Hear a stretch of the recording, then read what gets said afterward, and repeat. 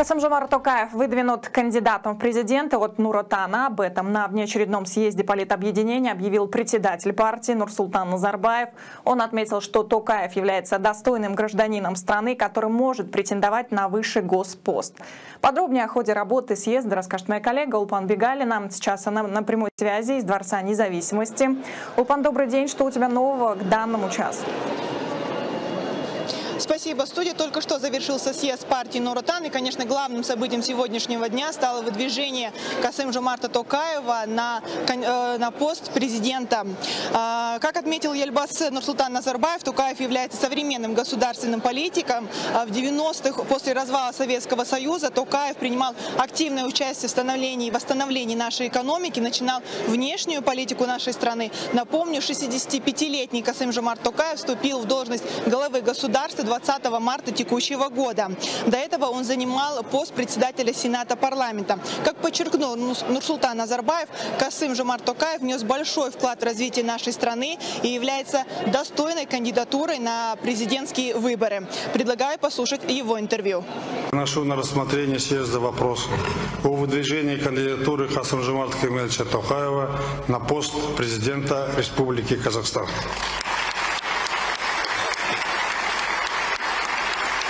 Много лет под совместной работы считаю самым достойным на сегодняшний день кандидатом на эту высшую должность в стране. Касымжамарт Камилевич с первых дней независимости работал рядом со мной на самых разных ответственных участках. А, между тем, Касым Жумар Токаев а, отметил, что он будет продолжать политический курс первого президента Казахстана Нурсултана Назарбаева. Ну а прямо сейчас мы побеседуем с депутатом Сената парламента Айтимовой Бирганом. Бирганом Саримна, здравствуйте. Скажите, пожалуйста, как вы оцениваете выдвижение кандидата на пост президента Касым Жумарта Токаева?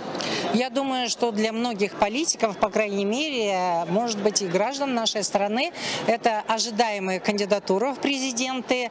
А, и э, то, что я с каким вот э, ожиданием пришла на съезд, и вот это ожидание мое э, было оправдано. Касымжумар Такаев является известным нашим государственным и общественным деятелем, человек, который стоял у истоков создания рядом с президентом, создания нашей независимой страны, нашего государства, особенно в части определения внешней политики. Он был э, действительно соратником и помощником главы государства Нурсултана Абишевича Назарбаева. Поэтому э, президент Назарбаев знает э, Касымжумарта Тукаева очень хорошо. Он назначал на многие должности ответственные.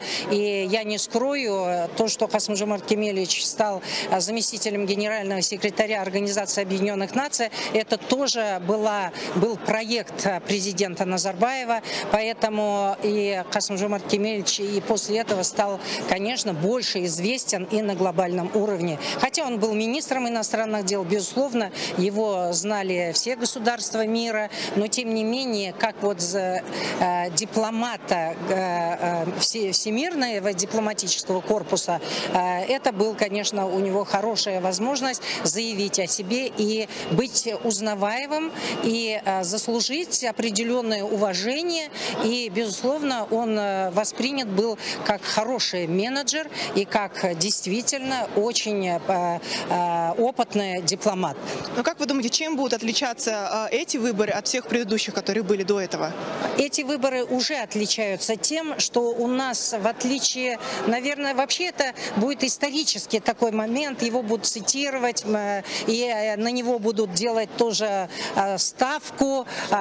Казахстанский лидер Ельбасы проявил такое, в общем-то, глобальные лидерские качества, и когда посчитал нужным, и он ушел, ушел в отставку, тем, но не ушел совсем из политики, он будет, как э, э, уже Ельбаса, первый президент нашей страны, он будет все равно контролировать, наблюдать с разных вот этих точек э, конституционной его сегодня занимаемой должности и э, совета в партии и ассамблее, он будет наблюдать все равно, смотреть, в каком направлении государство дальше движется.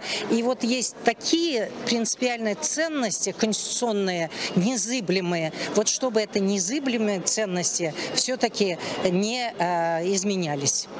Я благодарю вас, Берганым Сарина, спасибо вам большое. Студия, я напомню, что мы беседовали с депутатом Сената парламента Берганым Атимовой. А я напомню, что президентские внеочередные выборы назначены на 9 июня текущего года. И на этом у меня пока вся информация к данному часу. Студия.